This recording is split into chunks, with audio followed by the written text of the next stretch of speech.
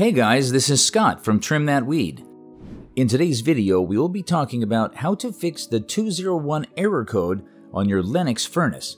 But first, what does the 201 error code mean? The error code 201 on your Lennox furnace indicates that the furnace cannot communicate with the indoor blower motor.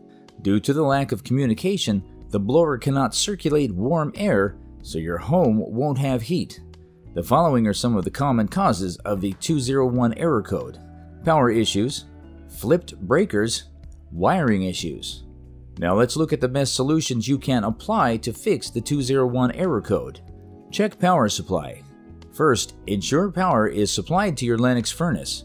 Also, verify that the furnace's power switch is set to the on position. The switch resembles a light switch. If it was set to the off position, you should give it a moment to restart.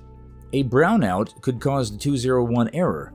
Check if your house is getting enough power. If other houses' electronics are malfunctioning, it's probably a brownout. After a brownout, the power might take some time to stabilize. Give it some time before restarting your furnace. Inspect the circuit breaker. Sometimes the circuit breaker can trip, cutting power to the furnace. Locate your home's circuit breaker panel. Open the panel, and if you find any tripped breakers, reset them. A brownout can cause a trip. A dirty filter can also trip a circuit breaker. It can restrict airflow in your furnace, therefore triggering the breaker. Hold the filter to the light and check it for dust and debris. If it is dirty, replace it before resetting the breaker. If you restart the furnace and the breaker trips again, there is likely to be another issue. Leave the breaker and furnace off and contact a professional technician for further assistance. Inspect the wiring. Examine all the wiring related to your furnace.